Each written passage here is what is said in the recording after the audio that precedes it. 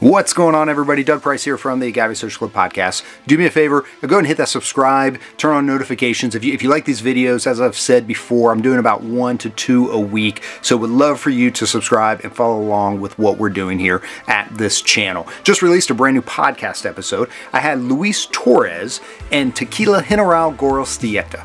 This is a story that is so much more than just about tequila. The general was a real person over 100 years ago, and Luis, along along with his team, they've really decided to honor this general and to continue to share his story because, as Luis tells us during the show, this is a story that not too many people know about. If you're in certain parts of Mexico, you will know this general and this story, but if you're in other parts, they've kind of erased it from history, and so he's here to bring this back. At the age of 24, he becomes a general, and at some point he gets exiled. He gets exiled to El Paso, Texas. We talk about this. There's some symbolism here as to what's happening now in El Paso, Texas, as their U.S. office is there. Uh, but he comes back, and at that time, the government was oppressing the people of, of freedom of religion for their faith, and the general really takes it upon himself to lead this Cristero movement. And what he does is he takes this group of, they're not soldiers, they're not trained, they don't have weapons,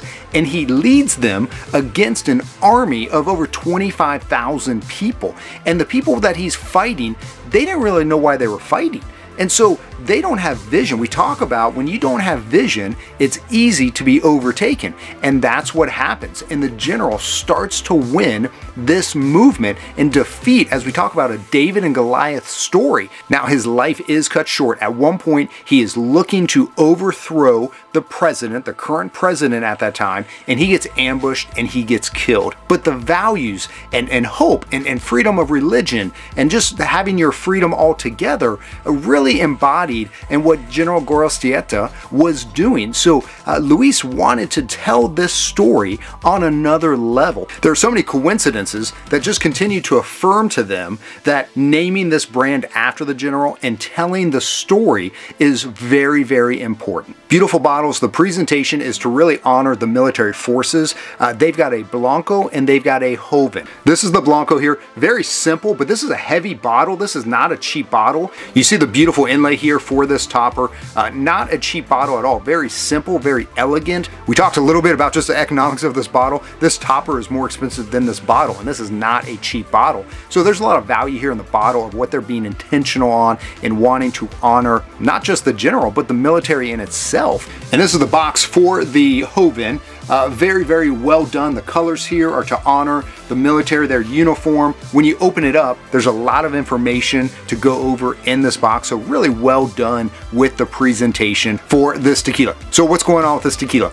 Luis partners up with Ana Maria Romero. She's a legendary tequila maker. She has been behind some other really great brands. So she's at the helm and he's just learning as much as he can from. We talk about going through fermentation and distillation. She's there every step of the way testing. He said that when she comes into a distillery, she really takes over. This started at NOM 1499. There's a lot of great brands coming out of NOM 1499. This has since been moved over to NOM 1414, one of my favorite distilleries, the Vivanco Distillery.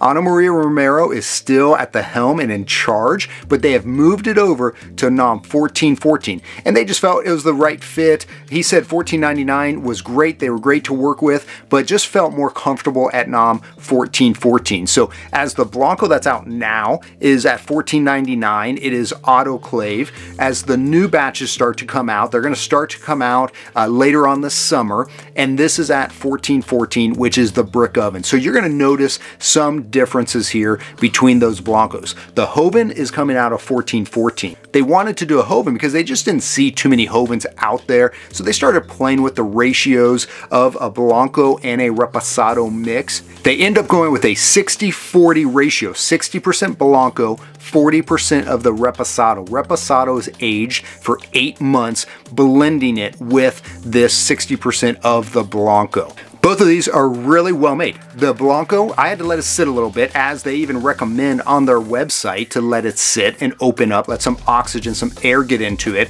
At first, I did get a big burst of alcohol, but after you let it sit, man, it really opens up. It was so creamy, it was buttery, and it just continued to give more and more flavor. It's like all of a sudden another burst of flavor came up for this Blanco. Really, really well done Blanco.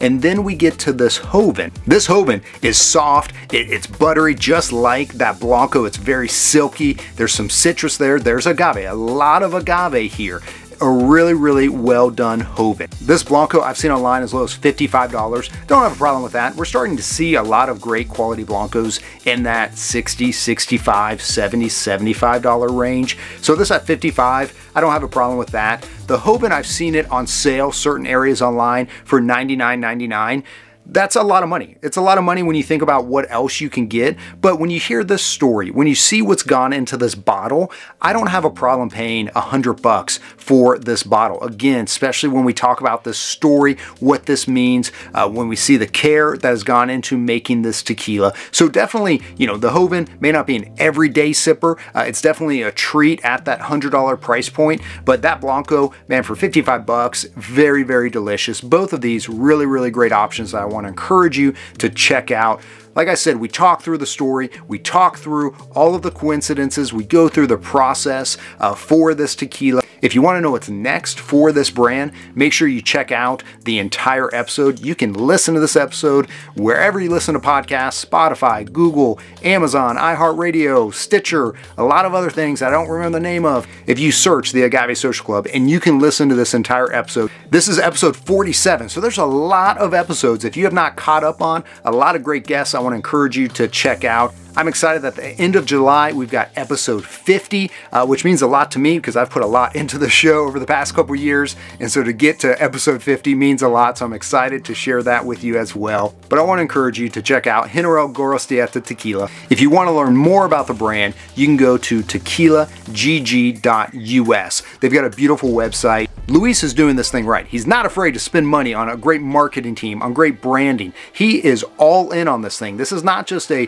side project to him. He does have a day job, but he is all in on this. He's got a hacienda up in Arandas named after the general. We talk a little bit about that as well. Uh, so, man, really proud of what he's doing. He believes in this. Uh, this is more than just tequila go ahead and check out this entire episode. You can follow me on Instagram at Agave Social Club. If you ever have any questions for me or you have any brands that you want to recommend to be on the show in a future episode, you can reach out to me on Instagram or you can email me directly at the Agave Social Club at gmail.com. I'm Doug Price. Thanks for watching.